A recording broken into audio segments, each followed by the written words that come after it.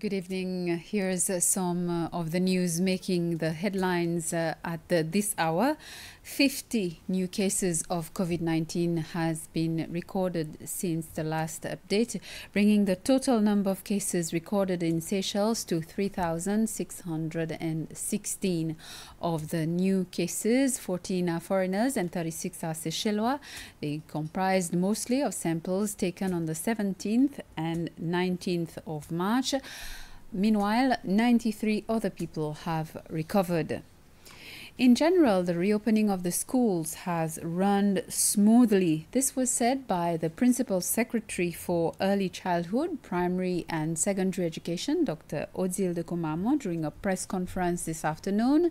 The aim of the press conference was to give an update on how the reopening of the schools went and the challenges they've faced.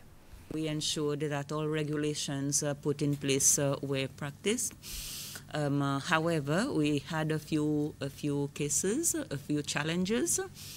Um, some of the challenges are the wearing of face mask, especially by students. Um, uh, we just wanted to uh, re-emphasize the need to wear face masks at all times, especially for secondary students and for staff members. And uh, we also had uh, a few cases in a few schools, uh, positive cases both among students and among teachers. And uh, with the, in collaboration with health, we managed to um, coordinate contact tracing and to do the necessary to ensure safety um, of all other staff and uh, other students.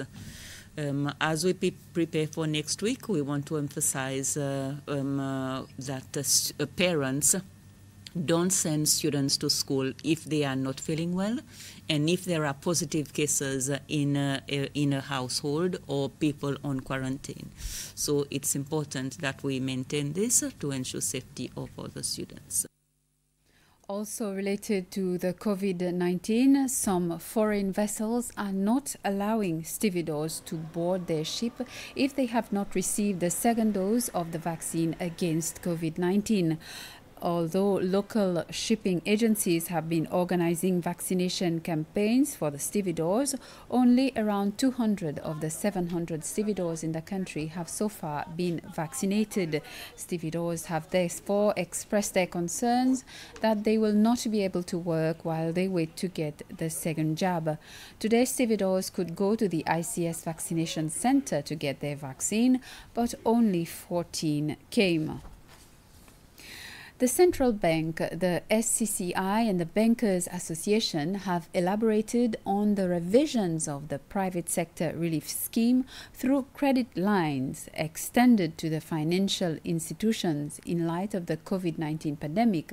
Central Bank Governor Caroline Abel says the extension and moratorium are some of the proposals put forward by the private sector mainly in relation to the extension of the scheme up to the end of this year, uh, the moratorium, which we've extended by another six months to reach 18 months, uh, for which the existing clients under those schemes will automatically get these six months.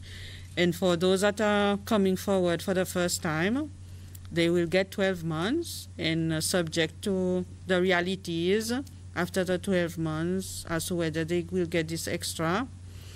Uh, we've also looked uh, from the perspective of central bank in the flexibility we have uh, to extend the loan facility to the banks because the first leg come from central bank.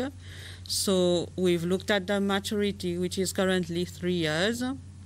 Uh, the board has approved now for the eight years, which will provide um, that flexibility. Uh, we've also looked at the critical expenditure uh, that is covered. So we've added reskilling and training expense as a new expenditure to be covered.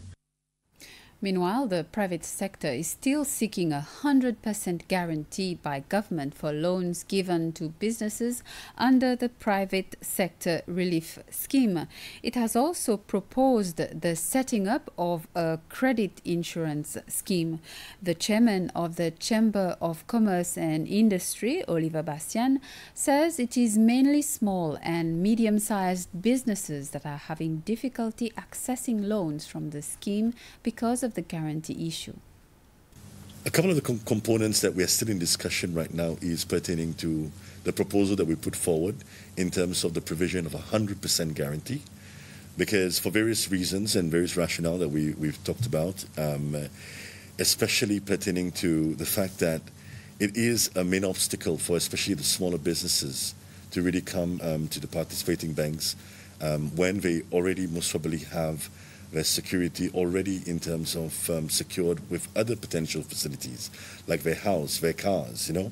So it is a challenge for them. It is difficult. So this is one component that we're still talking about with, uh, we're still talking with um, uh, Central Bank and the Ministry of Finance.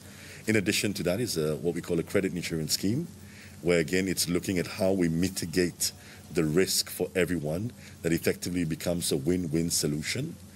Um, and, and so um, there are still ongoing discussions, but um, overall, we, we, we are very, we're very happy with the way the discussions are going, and we do believe that these couple of components that we're still discussing is critical.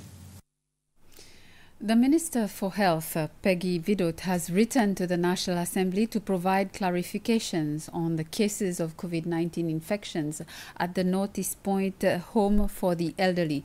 It follows a request earlier this week by the leader of the opposition in the Nas National Assembly, Sebastien Pillay. The minister said 15 employees and 52 residents have tested positive for COVID 19. Also, in today's session, the National Assembly approved a budget of slightly over 68 million rupees for the Agricultural Agency and over 240 million rupees for the Landscape and Waste Management Agency.